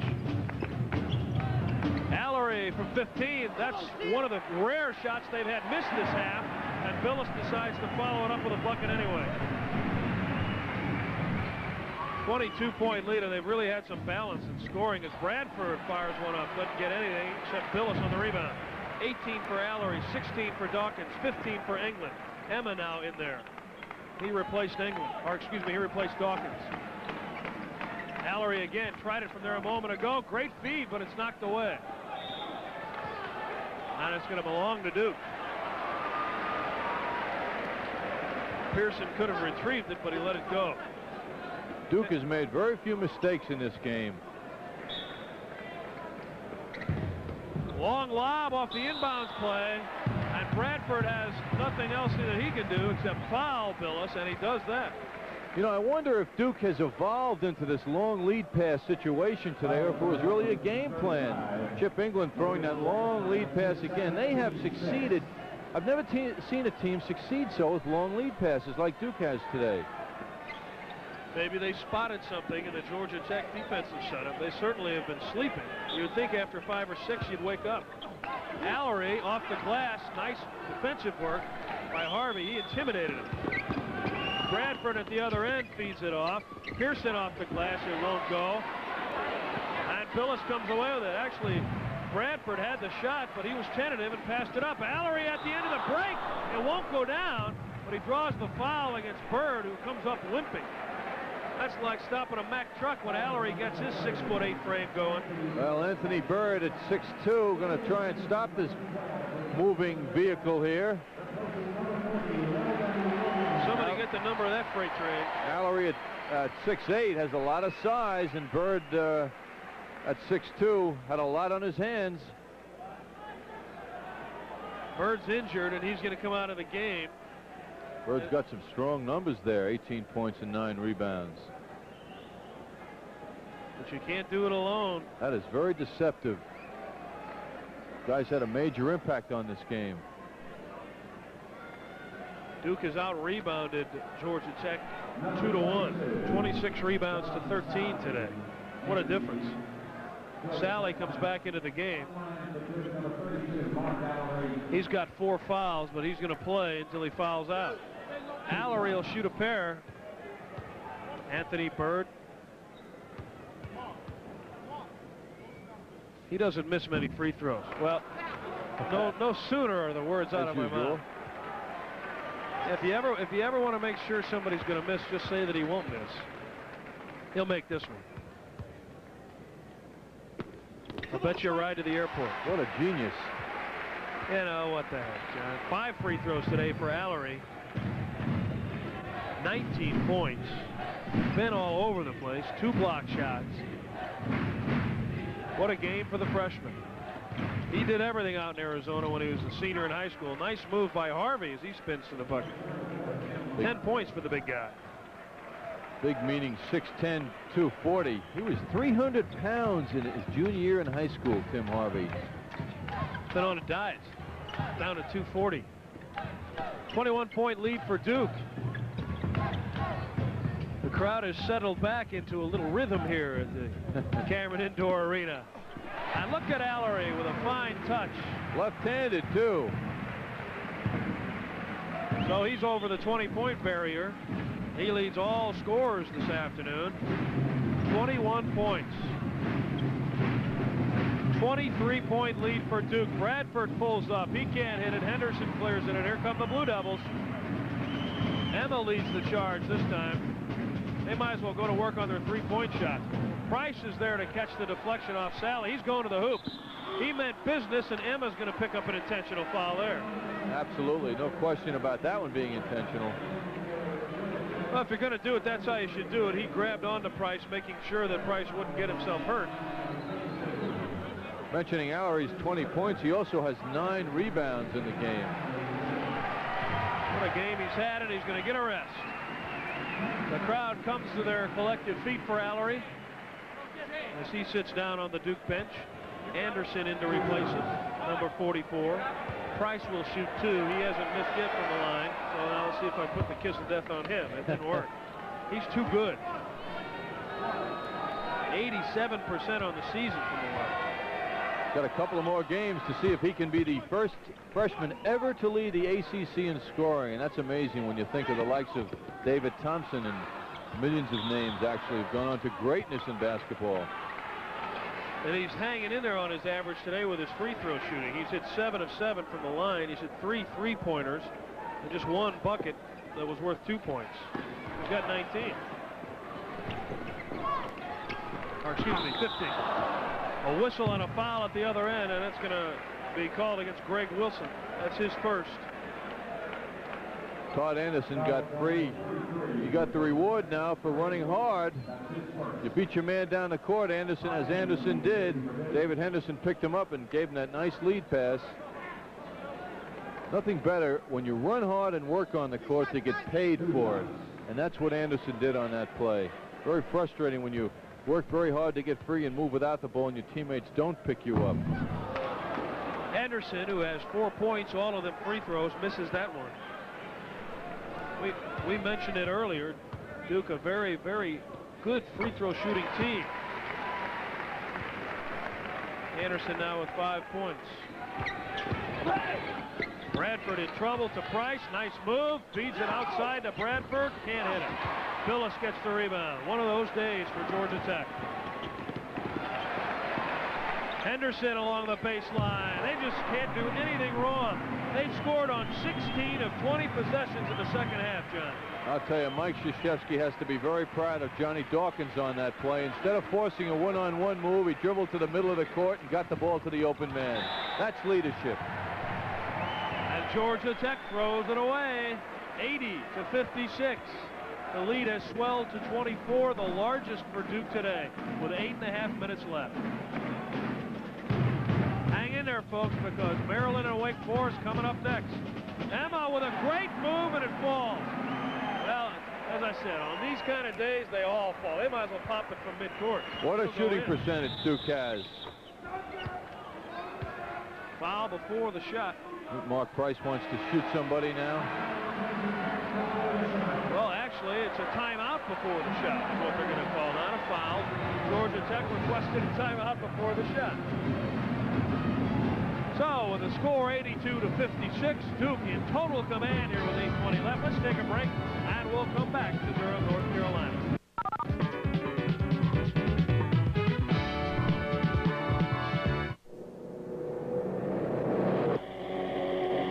Love fine automobiles. I like the hum of a perfectly tuned engine, the look of a snappy sports car, the thrill of a good Formula One race. And I especially like the feeling of a solid old friend like this as I travel down the road. If you're like me, if you appreciate great cars, then get turned on by the finest cars in the world. You'll find them on the pages of Road and Track magazine with stories and photos so vivid, it's the closest thing to being there. And now, with this TV offer, you can get a full year, 12 monthly issues of Road and Track for half the regular subscription price. That's less than 75 cents an issue for the most respected magazine in the auto world. Road and Track, the authority. It helps you keep up with all that's new in today's changing world of cars. You'll check out the best of them on the road, on the track, under the hood, and behind the wheel. You'll get the real story with results from the finest road tests in the industry. With Road and Track, you'll enjoy the sheer sleek beauty of tomorrow's cars and the classic elegance of yesterday's leaders. So be a part of the changing world of cars every month. Do it now and save 50% off the regular subscription price. Save even more off the newsstand cost. Just call 1-800-544-2000 to subscribe. That's a toll-free call. 1-800-544-2000 to get one year, 12 exciting issues for only $8.97. You save 50%. Keep up with all the dramatic changes taking place as they happen. Subscribe to the authority, Road and Track. Call 1-800-544-2000 today.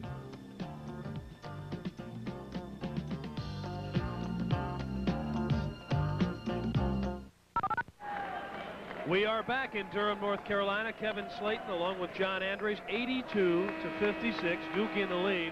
And Bobby Cremins and his Georgia Tech Yellow Jackets, John, must be wondering about this time if they didn't walk into the wrong gym.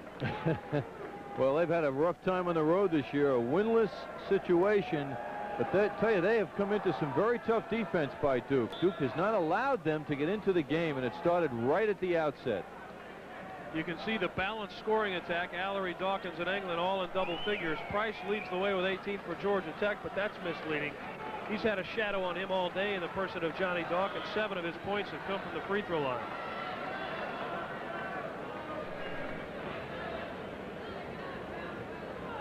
So Alarie has had himself a good day. Actually, Alarie has 21 points. 82, 56, 820 left as the officials get things together down on the floor. Georgia Tech has possession of the basketball. I don't know what the problem is. John, I don't think anybody expected Duke to come in here and blow Georgia Tech out the way they have.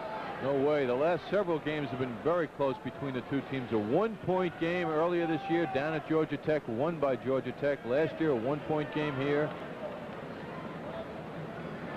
Dawkins set the tempo early. He shut down Price. That takes your confidence away, not only from Price individually, but from the Georgia Tech team. He's their big gun. And the other guys aren't used to having to pick up the slack like that. Salley toward the baseline now. Puts it back out. Pearson. Price. That's a three-pointer. It won't go. Dawkins bothered him just enough at the end of that shot. And here's the long lead pass to Dawkins. Hesitates. Great block by Harvey. Tom Emma threw some lead pass to Dawkins right out of the outstretched arms of uh, Mark Price. Emma, the trigger man now, gets it into Henderson. You saw that block from Harvey. 7.40 left. Alarie's back in there. And a foul called against Harvey. He's having all kinds of problems inside trying to handle Mark Alarie. On the line, number 32, Mark. Just don't want to send him to the free throw line anymore.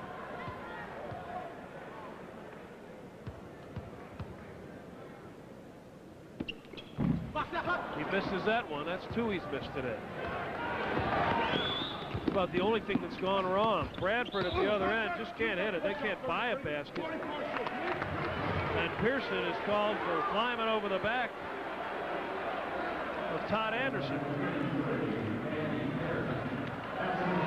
That's the fifth foul against Pearson. He'll have to say adios to this one. Well, those calls go against you when you're on the road. Interesting, too. That was a sort of a fast break situation. I was just thinking the third official uh, in a case like that is really an asset because many times the two officials can't get every angle on the court. But in that case, the third official, because uh, the officials divide the court up so, has the angle. And uh, in that case, Pearson caught for jumping over the guy's back. And he leaves the game with eight points. Anderson rebounds his own miss, and he went to the hoop. And he went there with determination. 84 to 56 now. Duke in the lead. 7:20 left.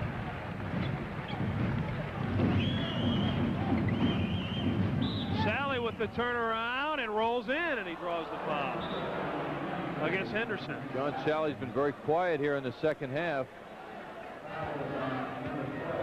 Nice, perfect bounce pass into Salley. Spins and throws up a lovely soft touch. Salley with 12 on the afternoon, and he'll get a chance to make it 13. Henderson's going to check out, and Engelland comes in for Duke.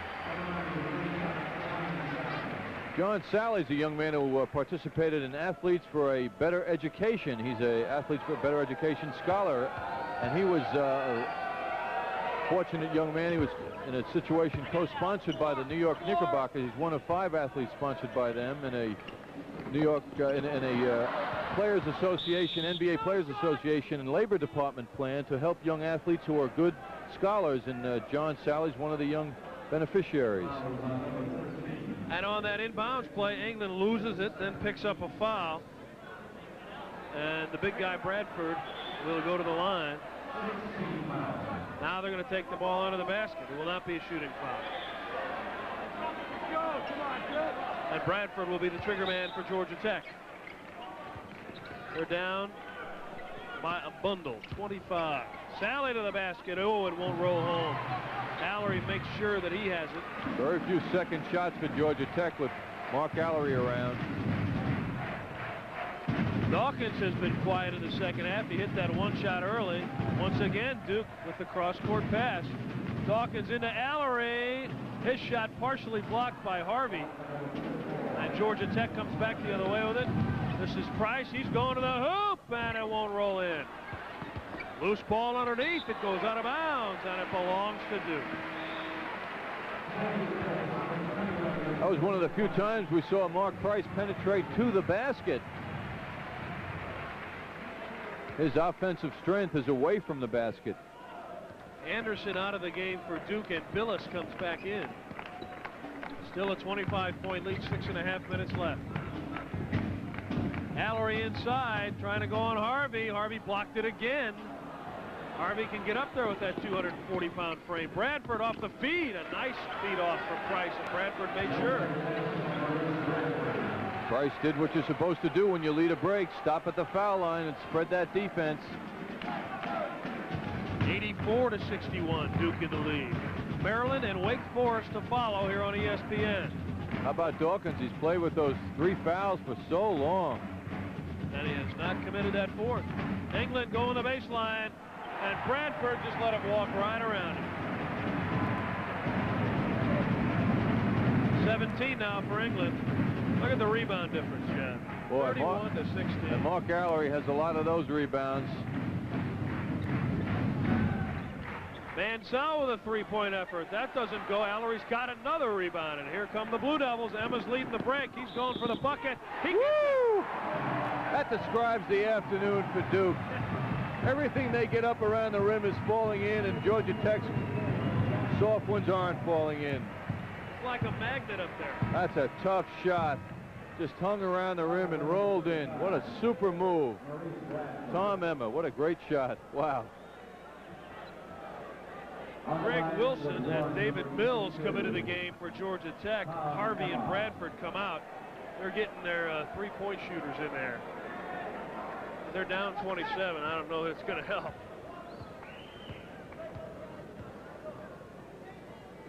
Emma converts the free throw and gets the three-point play. 5.20 left. They need a miracle. They need two miracles pull this off. Pearson walked. That They takes the heart out of you, too. When you turn the ball over, when you're trying to get something going, and you turn the, just give it right back to the other team, it just is so deflating. And they've done they did that early. They've done it all day, but they did it early when this was a close ball game. It Wasn't close for long. Emma now, 89-61. Duke over Georgia Tech. Great feed from Dawkins to Bilas, but he can't hit the shot. And Wilson let it hit the baseline. Tough day for the Yellow Jackets and Bobby Cremins. But a nice day for that man, Mike Krzyzewski and his Duke Blue Devils. Well, they were due a good game. They've been struggling. Georgia Tech will still own a half-game lead in the standings, the ACC standings over Duke, even with this victory for the Blue Devils. Engelland, it won't go this time. Mills is called for the foul. Weldon Williams comes back into the game for Duke. Thus the applause. He replaces Alarie. And they're on their feet here in Durham for Mark Alarie. What an afternoon for the young freshman from Arizona. What a great day. 89-61. Duke leads it, and he has played a major role in it. And a reminder with four and a half minutes left, we will be picking our Vitalis most valuable player. And he's a pretty strong candidate at this point, although this man at the free throw line, Engelland, would have to figure in there somewhere. I'm very impressed, too, Kevin, with uh, uh, Dawkins' unselfishness and ability to lead the team and not get hungry for his points. As the leading scorer in this team, he's been very content to keep giving the ball up. And that is progress for him because he was playing out of control the last couple of games that he that he had, and he certainly has improved on that today. And what a difference it makes! I'll tell you, this Price, if you let him alone for a second, forget it. He looks like he'd be a, he in Engelland in a shooting contest would be something to see. And don't get in a game of a horse against either one of those guys. You'll be out here all day. or they'll be out here all day. You'll be saying adios quick. A foul called against Mansell. 91-64 Duke. The Blue Devils will go to 11 and 14 on the season. Georgia Tech will drop to 12 and 13.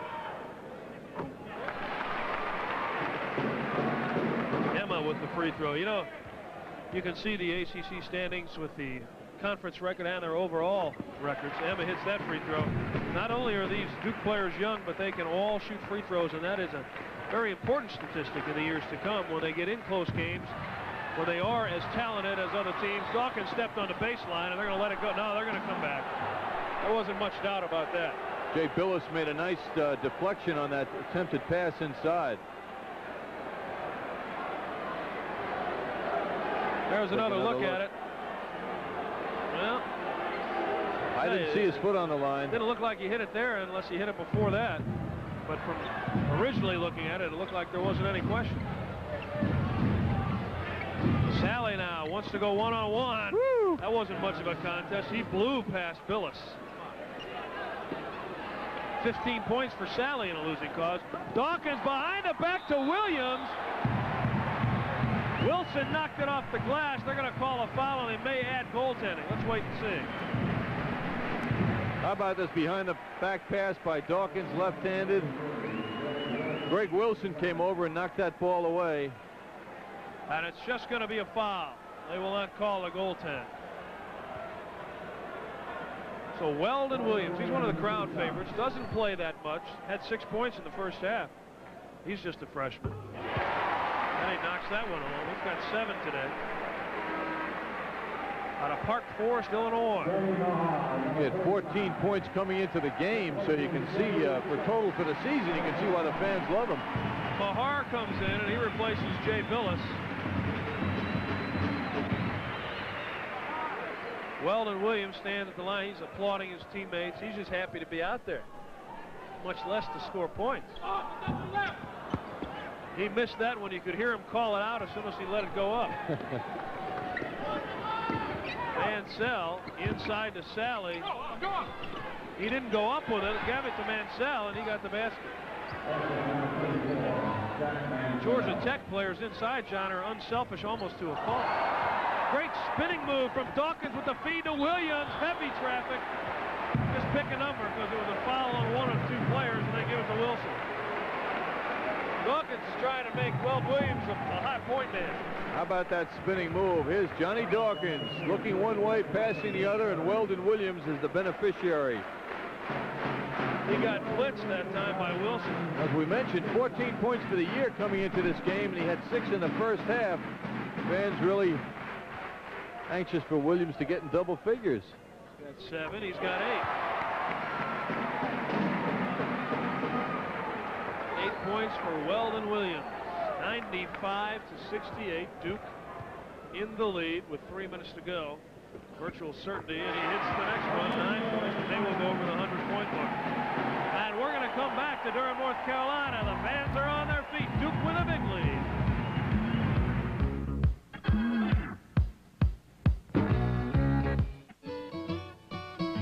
This Bud's for that first day on the job.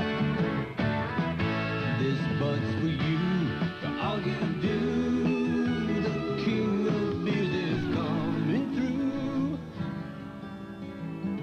Yeah, just for you, that distinctively clean, crisp taste that says Budweiser. For all you do. This Bud's for you. My music keeps me going in more ways than one. If I'm not riding to a concert, I'm flying to one. So I really appreciate relaxing. Just me and my Skoal. Skoal's wintergreen flavor is number one with me. Just a pinch gives me real tobacco pleasure without lighting up anytime, anywhere. Mr. Daniels, smoking or non-smoking? Smokeless, darling. Go smokeless with Skoal or Copenhagen. A pinch is all it takes. Experience one of the best-selling cars in the world. Experience the outstanding performance of the 1983 Mazda GLC with state-of-the-art front-wheel drive, 1.5-liter overhead cam engine, patented independent rear suspension.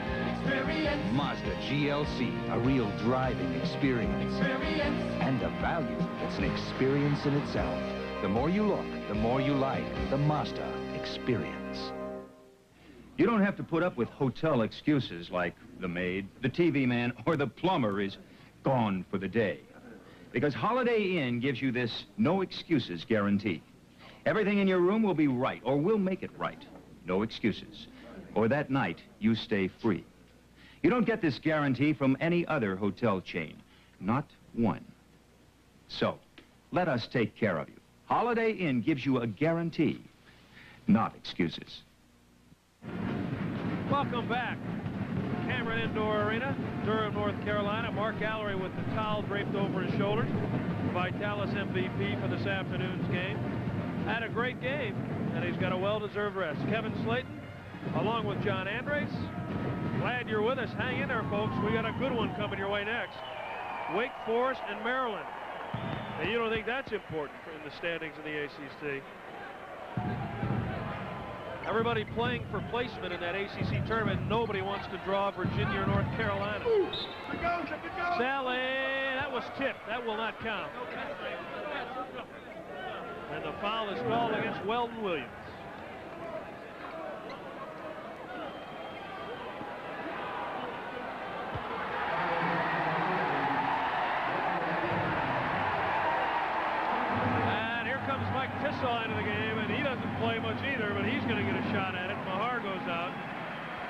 Tissaw is a senior from Fairfax, Virginia.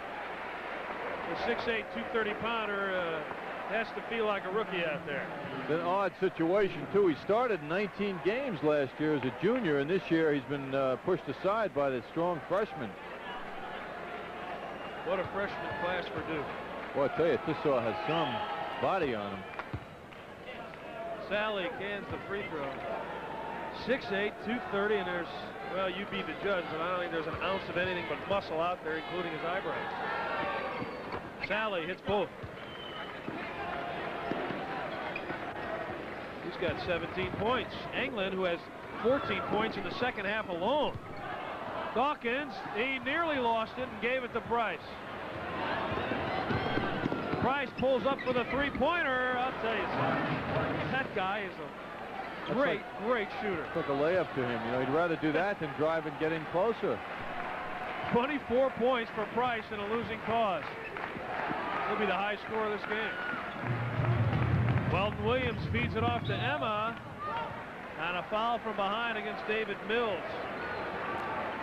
Amazing thing about Price is you feel that he was held under wraps all game, too. He never really got rolling. I can see where the, if anybody played him with uh, uh, some, not the respect that Duke showed for him, he'd have 40 without any problem. He's got five three-pointers. Emma hits the free throw. And, of course, he's got that thing that every great shooter has, a fine touch from the free throw line. Seven free throws, seven to two. Emma's a good free thrower also. 80% on the season.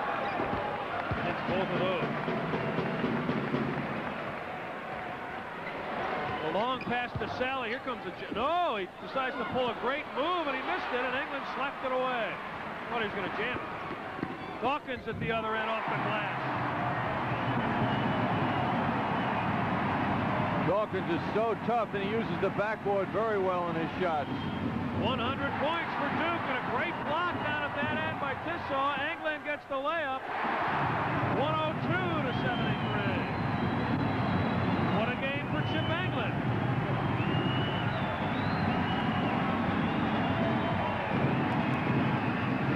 29 points. Salley inside. And here they come. The bench is empty. Jackman, Bryant, and Wentz come into the game. Williams goes out. You can see what Duke has to fight the rest of the way, Clemson and North Carolina before that ACC postseason tournament. Well, Duke had an earlier game this year against New Hampshire when they won by 36 points. I don't think they're going to top that today, but this is certainly one of their bigger wins. The next points that Price scores for Georgia Tech will give him 500 for the season as a freshman. What a great way to open the books on a career. Salley came into this game as a less than 60% free throw shooter, and he's hit seven today from the line. 102 to 75, Duke in the lead. Dawkins is their only remaining starter. Bryan, well, he wanted to take a shot, and he hit it. I'll tell you, when the guys that don't play much get in there, they're going to shoot.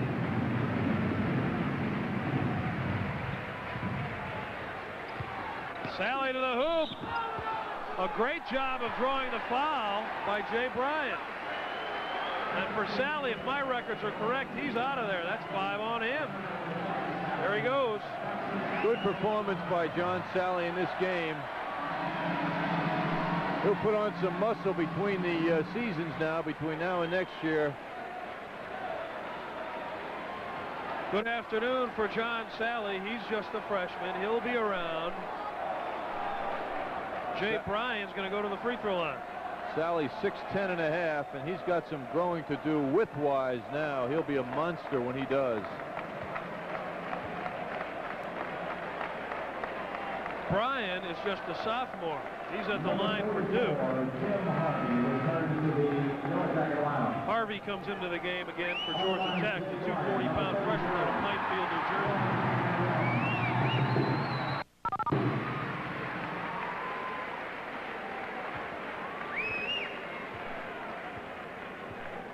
Bryan now will try to make it 105-77. Even the guys who don't play can shoot free throws on this team. And here comes Richard Ford, the junior from Durham, North Carolina. The hometown boy comes into the game. They list him at 5'10", John, but I think he's more like 5'7". He's a little guy. And he replaces Johnny Dawkins. Poor Jay Bryan, he's got to remember he's got still another free throw to shoot. Didn't bother him, though, did it? So he gets four quick points since he's been in the game.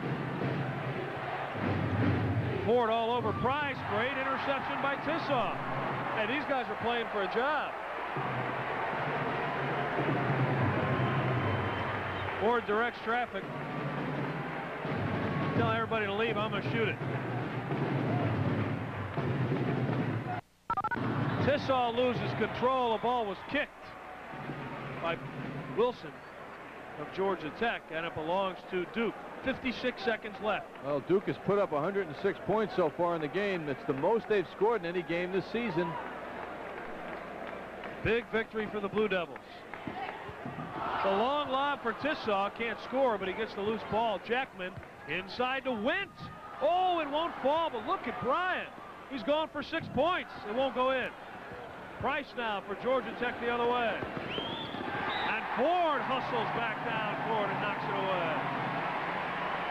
Well, anything he does, they're going to cheer. He's the hometown kid. Another look at it. Yeah, Price almost made it, but Ford got him from behind. David Mills leaves it for Mansell. And he cans the jumper. Got four points. 30 seconds left. 106 to 79. Duke. Ford with a move to the bucket, loses control. And a long pass for Price. This would be 500 points in his freshman year, and he's got it. What a future that kid has. 12 seconds left as they begin the countdown. Ford moves to the hoop, and he lays it off. Won't go. Partially blocked. Two seconds left. Mills lets it go at the buzzer. It doesn't go home. On the final 106 to 81, Duke with a big victory over Georgia Tech. So the Blue Devils break their losing streak at three, and they pick up their 11th victory this season. For John Andariese, I'm Kevin Slayton. So long from Durham, North Carolina.